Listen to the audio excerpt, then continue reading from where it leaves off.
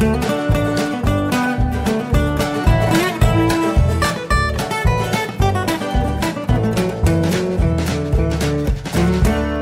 und herzlich willkommen zu Jörn Schars feinem Podcast Episode 257. Ich bin Jörn Schaar und ihr seid es nicht. Vergangenes Wochenende hat es mal wieder nicht geklappt mit dem Aufnehmen, weil ich nämlich noch so komplett im Arsch war vom Wochenende oder von den Tagen davor. Ich habe mir ein verlängertes Wochenende gegönnt, aber dazu gleich mehr. Ähm, ich war nämlich auch Strohwitwer in der vergangenen Woche meine Frau auf Fortbildung war. Und deswegen hatte ich eigentlich gesagt, äh, ich mache dann Homeoffice, weil inzwischen ist es ja so, dass unsere Frau Hund ähm, immer älter wird und äh, es für sie immer schwieriger ist, ins, äh, die Treppen ins äh, Büro hochzukommen. Und weil das so ist, ähm, also es gibt halt drei Möglichkeiten. Entweder geht sie alleine die Treppen hoch, das klappt nicht mehr. Oder sie fährt mit dem Fahrstuhl mit, das hasst sie. Oder ich trage sie hoch, das kann sie nicht ausstehen. Und äh, ja, das war für mich die Überlegung zu sagen, okay, wenn ich mich äh, Tage oder Wochenweise um den Hund kümmern muss, dann äh, werde ich die Arbeit von zu Hause aus ähm, durchführen. Und das hat am Montag auch ganz gut geklappt. Ich habe ein bisschen was zu tun gehabt gab's Döner, hat noch ein bisschen Hausarbeit erledigt und war abends äh, zu einem kleinen Gastauftritt bei Das A. Wir haben Bonusfolgen in diesem Wer bin ich Format aufgenommen. Die erste davon soll am 21. März 2020 erscheinen. Ich werde darauf hinweisen, äh, wenn das ähm, veröffentlicht ist, äh, sowohl hier im Podcast als auch in meiner Gastauftritt-Kuration bei FÜD, die ihr wie einen ganz normalen Podcast auch abonnieren könnt, wenn ihr das denn wollt. Am Dienstag äh, hat sich dann mein Homeoffice-Plan schon gleich wieder erledigt, denn ich musste äh, zum Landgericht, weil die Plädoyers in meinem Mordprozess äh, stattgefunden haben, den, über den ich jetzt schon seit Monaten tatsächlich berichte.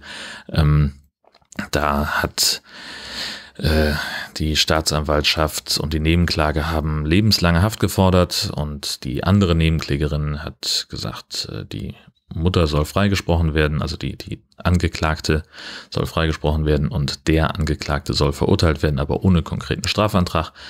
Seine Verteidigerin hat sieben Jahre wegen Totschlags gefordert und ihre Verteidigerin Freispruch für ihre Mandantin. Ja, dazu dann auch später noch mehr, was dann da rausgekommen ist. Mittags gab's Döner und die Kolleginnen im Studio haben sich um Frau Hund gekümmert. Ich habe sie also dann doch entgegen meiner ursprünglichen Pläne ähm, mit ins Büro gebracht und das äh, hat wohl auch ganz gut geklappt, weil letztlich ist es ja so, wenn der Hund einmal im Büro ist, dann möchte sie gerne was futtern, möchte in der Lage sein, jederzeit an einen vollen Napf Wasser zu kommen und gelegentlich ein Leckerli haben und ansonsten rumliegen und pennen. Das hat äh, super funktioniert und äh, habe ich mich gefreut, äh, dass die KollegInnen das so möglich gemacht haben. Äh, Mittwoch habe ich äh, hier dann wieder mehr Hausarbeit erledigt, äh, waren noch mal ganz kurz zu einem Interviewtermin unterwegs für zwei, drei Stunden und mittags gab's Döner. Und am Donnerstag habe ich vormittags den äh, Hund zu Freunden gebracht, äh, weil ich nämlich ein verlängertes Wochenende, wie gesagt, in Hamburg geplant hatte. Denn Donnerstagabend haben die Jungs von den Kack- und Sachgeschichten ihren Live-Auftritt im Knust in Hamburg gehabt. Hatte ich mir schon relativ früh äh, Tickets gekauft, war habe auch wirklich es äh, geschafft, noch welche eins zu bekommen und habe mir auch äh, dann angeguckt, wo dort in der Nähe Hotelzimmer sind und das war war total großartig. Ich weiß gar nicht, ob ich es hier schon mal erzählt habe, aber fantastische Geschichte. Hotelzimmer buche ich ja immer im Reisebüro, weil Online-Portale eine Kreditkarte haben wollen, die ich nicht habe. Dann saßen wir so und ich hatte halt so ein bisschen geguckt, wo, wo möchte ich denn hin und habe dann äh, gesehen, hm, es gibt ja auch in diesem äh, NH Collections äh, Hotel gibt es ja auch Junior Suiten, neben, also auch diverse noch größere Zimmer. Aber ich habe dann gesehen, dass die äh, gar nicht so einen großen Preisunterschied haben und habe gesagt, das kann ich mir eigentlich nicht vorstellen und habe dann im Reisebüro nochmal nachgucken lassen und die sagte tatsächlich, ja, äh, wenn wir das Zimmer ohne Frühstück buchen, äh, bei weiß ich, was war es denn, Amaropa oder was, äh, dann ist der Preisunterschied zum Standardzimmer für die drei Nächte, die sie gebucht haben, äh, liegt dann bei, was hat sie denn gesagt? Ich glaube sechs Euro und mit Frühstück wäre es irgendwie 60 oder 70 Euro gewesen. Da habe ich gesagt, ja gut, Frühstück werde ich da wohl finden, also buchen wir das mal. Und mein lieber Schwan, das war, das war echt die geilste Entscheidung, echt super geil. Äh, ich stelle euch ein paar, äh, ein paar Fotos mit rein. Also erstmal, man, dieses Zimmer war unfassbar groß, wirklich absurd riesig. Man kommt da rein, dann sieht man sofort den, äh, hat man so, so einen Eingangsbereich, so ein, ja, so im Prinzip ein Wohnzimmer äh, mit einem kleinen Schreibtisch und einer Sitzgruppe. Und dann ist da so eine Trennwand mit dem Fernseher und dahinter ist dann äh, das Bett und von dort aus neben dem Bett ist dann die, die Tür zum Bad. Und äh, der Fernseher ist selbstverständlich drehbar gelagert in dieser Trennwand, damit man also sowohl von der Sitzgruppe als auch vom Bett aus Fernseh gucken kann. Das WLAN war tatsächlich ganz in Ordnung. Und mein übliches äh, Unterscheidungskriterium zwischen Hotels, äh, nämlich das Frühstück, das ist weggefallen, weil ich also natürlich dann auch nachgefragt habe, wieso denn der Preisunterschied bei der Buchung mit Frühstück zwischen den beiden Zimmerkategorien so groß ist, konnte mir äh, der Mensch an der Rezeption nicht beantworten und äh, hat gesagt, also ja, äh, das Frühstück kostet standardmäßig 23 Euro. Könnten, könnte ich gerne dazu buchen, wenn ich das möchte. Wäre also noch äh, jetzt auch noch möglich. Ich habe gesagt, nee, ganz ehrlich, 23 Euro muss man ja erstmal aufessen. Und stattdessen bin ich halt dann zum Frühstück äh, zum Schanzenbäcker gegangen, der irgendwie äh, 500 Meter weiter war an der U-Bahn-Station Feldstraße. Beziehungsweise ich habe mir dann auch was von, von Edeka in der Rindermarkthalle geholt. Also es gab überhaupt keinen Grund zur Veranlassung. Äh, aber wie gesagt, dieses Unterscheidungskriterium, das fällt jetzt halt weg. Da muss es dann diesmal über die Zimmerkategorie gehen. Und ich empfehle dringend, äh, gerade wenn man lange vorher bucht, äh, mal zu gucken, ob es nicht eine Junior Suite gibt. Manchmal lohnt sich das tatsächlich. Die Show von den Kack- und Sachgeschichten war wirklich ganz gut, war echt unterhaltsam, war mir ehrlich gesagt ein bisschen zu Podcast-artig. Ich finde ja, wenn Podcasts äh, Live-Show machen, äh, und das gilt eben nicht nur für gebuchte Touren, die es jetzt gemacht haben, sondern eben auch für, für Events wie Podstock oder, oder Kongress oder wo auch immer wir live podcasten, sich auf eine Bühne setzt oder stellt und seinen Podcast vor Publikum präsentiert, finde ich persönlich, sollte man mehr Showcharakter haben. Also da möchte ich eigentlich nicht, ich will einfach nicht Leuten dabei zugucken, wie sie Podcasts aufnehmen. Das ist, liegt wahrscheinlich an meiner Macherperspektive. Ich weiß einfach, wie es aussieht, wenn Menschen Podcasts aufnehmen. Das ist jetzt für mich nichts, wo ich sage, das, das muss ich unbedingt mal gesehen haben. Ähm, und ich kann mir ehrlich gesagt auch nicht vorstellen, wenn jemand, ich, ja, wenn jemand ausschließlich Hörer ist, also ich will jetzt nicht nur sagen, weil nur klingt immer so abwertend, äh, aber wenn jemand nicht selber Podcast produziert, sondern ausschließlich konsumiert, dass es dann so ein spannender Erkenntnisgewinn ist, Leuten bei der Produktion einer Podcast-Episode zuzuhören. Das haben die da nicht gemacht. Das war also wirklich erkennbar auch eine Show mit Elementen, die vorbereitet waren, äh, mit Gags, die schon mal so gelaufen sind. Aber für mich hätte da mehr, mehr Wahnsinn reingemusst und mehr, weiß ich auch nicht, keine Ahnung. Also nicht, dass es mir nicht gefallen hätte, um Gottes Willen, ne? Das, das war wirklich cool. Aber ich habe auch aufgeschrieben, nächstes Mal bitte mehr Wahnsinn. Sie haben so eine Feedbackbox. Ähm, mehr Wahnsinn und bitte auch mehr Haie als kleinen Insider, denn wir waren ja mit dem High Alarm Podcast schon mal mit bei den Kakis zu Gast. Ja, wen habe ich getroffen bei der ganzen Geschichte? Natürlich neben den Jungs von den Kack- und Sachgeschichten ähm, auch Benny, mein Lieblings-High-Alarm-Kollegen. Äh, und der war verabredet, schon äh, bevor ich die Karte gekauft habe, äh, hatte er sich schon mit Freunden dort verabredet, nämlich namentlich mit Nora, Alex und Janus. Super angenehme Menschen echt korrekt. Also wirklich, wir haben uns irgendwie, wir haben uns getroffen an der U-Bahn-Station, haben noch irgendwie einen Döner gegessen und zusammengestanden und haben, waren sofort irgendwie im Gespräch miteinander. Das ging ganz, ganz schnell und war super unkompliziert. Und auch den ganzen Abend über, das war einfach eine, eine so, so coole Vibes miteinander. Ähm, das hat echt Spaß gemacht, haben uns echt nett unterhalten. Auch äh, ständig war jemand unterwegs, hat neue Getränke geholt und äh, das war, war richtig gut. Highlight auf jeden Fall äh, des Abends neben diesen ganzen Menschen waren dann auch noch zwei Fans vom High Alarm Podcast, die uns angesprochen haben und äh, gefragt haben, ob wir ein Foto zusammen haben wollen. Äh, und auch mit denen haben wir uns super nett unterhalten. Das war wirklich grandios. Ähm, und wir haben dann noch irgendwie ein bisschen länger gewartet, bis die Kakis dann auch fertig waren mit Fotos und Autogrammen und haben dann noch ein Gruppenfoto mit den Jungs gemacht. Das war richtig, richtig gut. Und danach hatte ich doch ordentlich Schlagseite. Also ich war doch ganz schön angetütert, weil wir halt auch den ganzen Abend uns äh, sehr mit, mit Biertrinken äh, beschäftigt haben. Haben dann, wenn ich mich recht entsinne, auch noch einen Döner gegessen, weil muss ja irgendwie auch Kopfschmerzprävention oder ich weiß das nicht mehr, keine Ahnung. Ähm, auf jeden Fall ähm, gab es eben zweimal Döner von The Best One, das ist der direkt an der U-Bahn-Haltestelle Feldstraße, hat mir richtig gut gefallen. Und am nächsten Tag zum Mittag gab es nämlich noch einen Döner zwischen der U-Bahn-Station und meinem Hotel. Erzincan spricht man es, glaube ich, aus. Äh, ganz klitzekleiner Laden, äh, aber auch super korrekter Döner, also wirklich echt lecker, kann ich überhaupt gar nichts äh, zu gegen sagen. Was mir aufgefallen ist, ähm, in, in beiden Filialen, wo wir Döner gegessen haben, sehr interessante Zubereitungsmethode.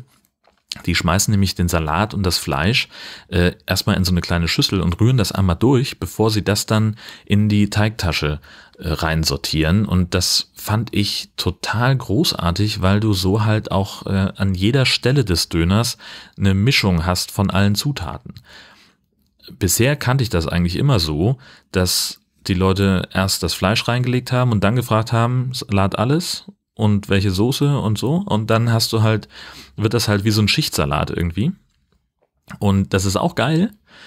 Aber manchmal, bei, bei manchen Dönerfilialen hast du es dann, dass du halt unten so eine mehrere Zentimeter dicke Schicht hast, die nur noch aus Fleisch und Brot besteht. Und das ist mir manchmal ein bisschen zu, zu stark gewürzt an, wo ich denke, boah, jetzt noch so ein bisschen Salat dazu wäre auch ganz geil.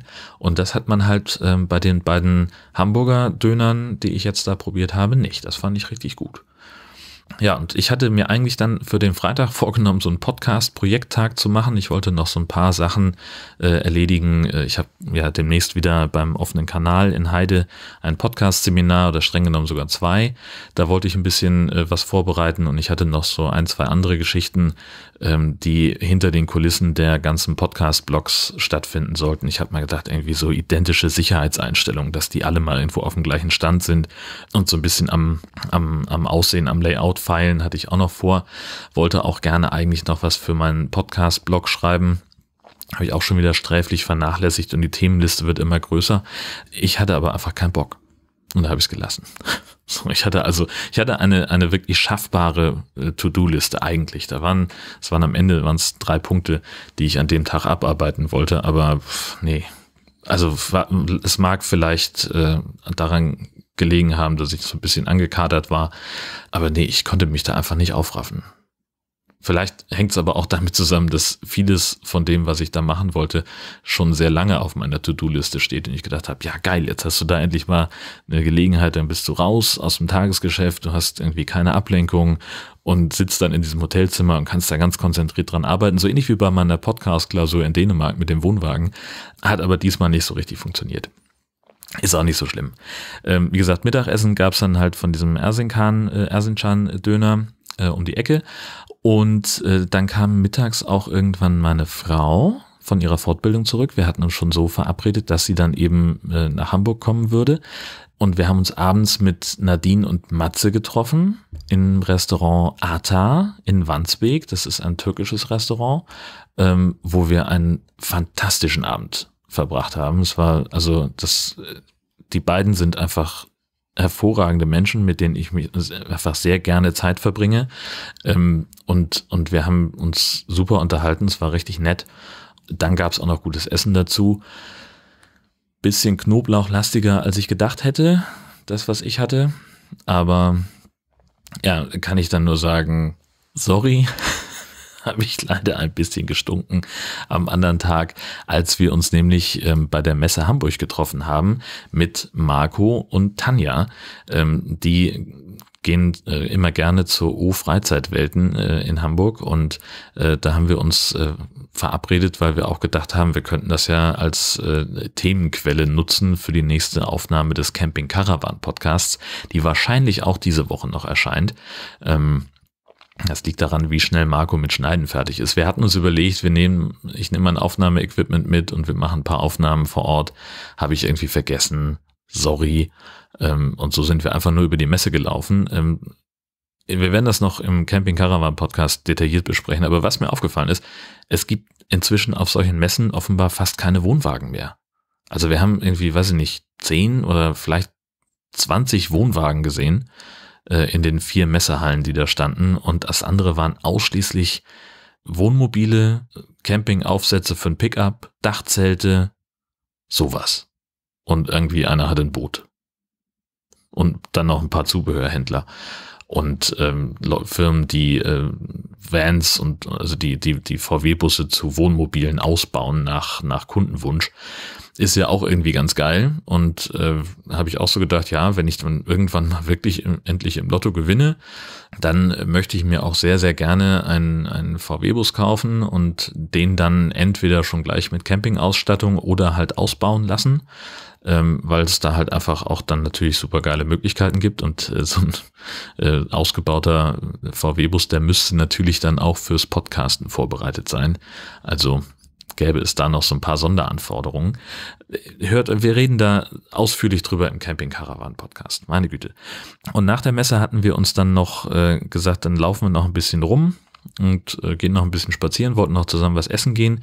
Es hat aber ehrlich gesagt dann für uns nur noch gereicht, um beim Schanzendöner einen äh, veganen Döner auszuprobieren, den Marco und Tanja sehr empfohlen haben. Wir wollten eigentlich noch weiter und zum Frittenwerk und so, aber ich war so durch und, und meine Frau genauso, äh, dass wir äh, schon halb im Stehen eingeschlafen sind und äh, veganer Schanzendöner, super geil, absolute Empfehlung. U-Bahn-Haltestelle Sternschanze oder S-Bahn, was weiß ich, kenne mich nicht aus mit ÖPNV. Ähm, das war, das war sehr, sehr geil. Kann ich absolut empfehlen. Ähm, doch, das ähm, unbedingt mal machen. Und äh, ja, Frittenwerk steht halt auch noch auf dem Plan, dann halt fürs nächste Mal.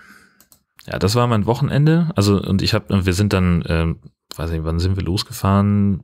In Hamburg so gegen drei, halb vier ja genau, 20 vor vier fuhr der, der Zug nach, von Altona nach Husum und dann war's, fährt man halt zwei Stunden.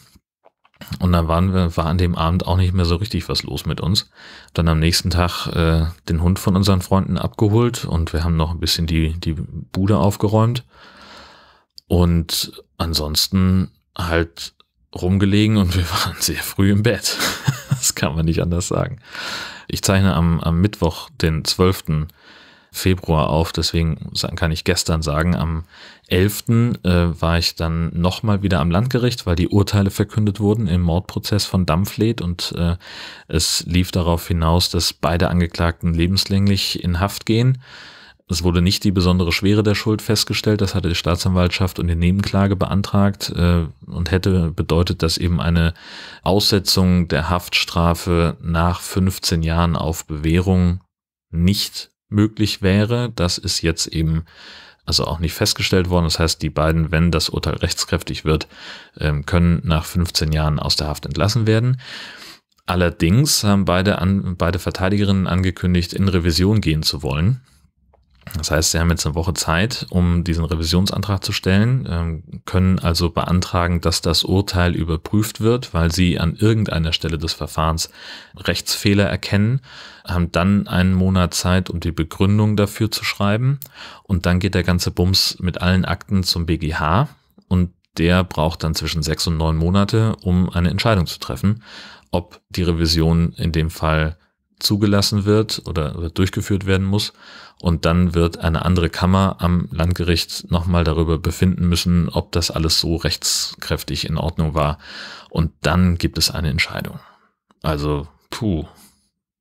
Ja, kann man, kann man so sehen. Äh, wenn man Anwalt ist, dann versteht man das wahrscheinlich auch besser, was es da noch zu argumentieren gibt. Ich als juristischer Laie fand eigentlich die, die Begründung der Richterin in allen Punkten sehr nachvollziehbar und, und gründlich, warum sie, wie sie zu diesem Urteil gekommen ist, welche Sachen sie wie gewürdigt hat und, und gewichtet hat. Aber ähm, muss ich alles nicht hundertprozentig nachvollziehen können. Ähm, ja, und heute am 12. Äh, werde ich nochmal zum Landgericht fahren, denn heute Nachmittag wird das Verfahren gegen die ältere Tochter der Angeklagten und des Toten veröffentlicht, dem ja auch, nicht veröffentlicht, sondern eröffnet, äh, der ja ebenfalls vorgeworfen wird, an der Tat beteiligt gewesen zu sein. Ähm, die Anklage lautet auch hier auf Mord und die Staatsanwaltschaft wirft ihr eben eine Mittäterschaft vor und nach der Darstellung der Staatsanwaltschaft und so äh, hat es auch die Richterin begründet, dass sie also davon ausgeht, dass es genau so gelaufen ist. Ist also die, der, der Anklagevorwurf so, dass äh, die beiden Frauen, also Mutter und Tochter, den Toten in eins der Kinderzimmer gelockt haben und ihm da in ein, in ein Gespräch verwickelt haben und dann ist der Angeklagte aus einem Versteck hinter einem Kleiderschrank herausgekommen mit einer Pistole und hat ihm in den Kopf geschossen die Beteiligung der Tochter ist erst im Lauf des, dieses Verfahrens klar geworden und deswegen wird jetzt ein gesondertes Verfahren gegen sie geführt, zumal sie ja auch ins, in das Jugendstrafrecht fällt. Sie war zur Strafzeit gerade 14. Ähm, äh, insofern, ja, ist das eine, ein eigenes Verfahren, wo nochmal alle Zeugen gehört werden und alle Beweise nochmal eingeführt werden und da kann die Kammer zum gleichen Urteil kommen wie jetzt die Richterin gestern, kann aber auch zu einem völlig anderen Schluss kommen. Das wird sich alles zeigen. Die, wir werden es nur nicht erfahren, so richtig, weil das ganze Verfahren unter Ausschluss der Öffentlichkeit geführt werden muss. Und man kann zwar als Presse beantragen, dass man dann in Teilen zugelassen werden kann. Ähm, da gibt es auch eine entsprechende Rechtsprechung des äh, BGH, die das ermöglichen kann. Also der Vorsitzende Richter hat da dann entsprechenden Spielraum, das auch zuzulassen. Der hat jetzt aber in diesem Fall entschieden, dass äh, das Interesse der Angeklagten am Schutz ihrer Persönlichkeit vor dem öffentlichen Interesse an einer Berichterstattung überwiegt. Aus der Pressefreiheit lässt sich nicht ableiten, dass man sozusagen einen Rechtsanspruch auf Anwesenheit hat, aber man kann eben beantragen, dass man zugelassen werden kann. Das haben wir getan und das wurde abgelehnt. Also werde ich heute im Wesentlichen dort auf dem Flur sitzen und warten, dass mir vielleicht der Gerichtssprecher, vielleicht der Staatsanwalt, vielleicht der Anwalt der Angeklagten was zum Verfahren sagen werden und ich werde berichten. Unter Umständen. Auf jeden Fall werde ich hier erzählen, was bei rausgekommen ist in der kommenden Woche. Vorher sprechen wir natürlich noch über das ganze Thema 1000 Fragen. Es gibt eine Liste mit einem PDF, äh, wo 1000 Fragen an dich selbst äh, gestellt werden, die du dir selbst beantworten kannst. Und ich habe gesagt, ich finde das finde ich eigentlich schön und hab, kann mir vorstellen, die auch mal im Podcast zu besprechen und habe also irgendwann im alten Jahr noch äh, gefragt, äh, sagst mir doch mal lieber ein paar Zahlen zwischen 1 und 1000, äh, um eben schon mal so einen Start zu haben und habe jetzt also noch acht Fragen äh, aus dieser Reihe äh, offen. Ne, neun sind sogar, sehe ich gerade. Die stelle ich noch und äh, wenn dann die alle abgearbeitet sind, dann mache ich den Zufallsgenerator für weitere Fragen an, um eben einer gewissen Trollerei zu entgehen, dass sich Leute ganz bewusst Fragen aussuchen. Einige Fragen aus der Liste schließe ich übrigens aus, weil die niemandem was angehen. Zum Beispiel die Frage, wie viel Geld hast du gerade auf dem Konto, ähm, muss ich nicht beantworten, finde ich. So. Ähm, also Flo hat die Zahl 723 eingereicht. Äh, das entspricht der Frage, was von der Einrichtung deiner Wohnung hast du selbst gemacht? Und bei der aktuellen Wohnung ist es tatsächlich nur so, dass ich in meinem Podcastzimmer ein paar Regale aus Brettern und solchen Metallprofilen ähm, hergestellt habe. Die finde ich sehen dafür sehr gut aus. Ähm, ich habe auch schon mal ein, so ein kleines, so einen kleinen Unterschrank gebaut äh, in irgendeiner alten Wohnung. Das geht, also Möbel herstellen äh, funktioniert bei mir immer mit mindestens fünf Fahrten zum Baumarkt und sehr viel Fluchen. Ähm, und dann fahre ich nochmal zum Baumarkt und es dauert dann ewig, aber irgendwann kriege ich was hin ähm, und bin dann meistens auch mit dem Ergebnis einigermaßen zufrieden. Aber ähm, wie so häufig sage ich immer, wenn ich was, wenn ich Bock drauf hätte, Möbel zu bauen oder was Handwerkliches zu tun, dann wäre ich wahrscheinlich Handwerker geworden. Vielleicht gibt es da einen Zusammenhang. Sandra hat sechs, äh, hat die Nummer 637 ähm, eingeschickt. Mit wem würdest du gerne tauschen? Und tatsächlich kann ich da ganz ernsthaft sagen, mit niemandem so richtig weil mein Leben einfach ausgesprochen super ist. Ansonsten vielleicht noch mit jemandem, der den ganzen Tag das machen kann, was er gerne tut und der sich mit tollen Menschen umgeben kann und da, hey, das bin ja ich.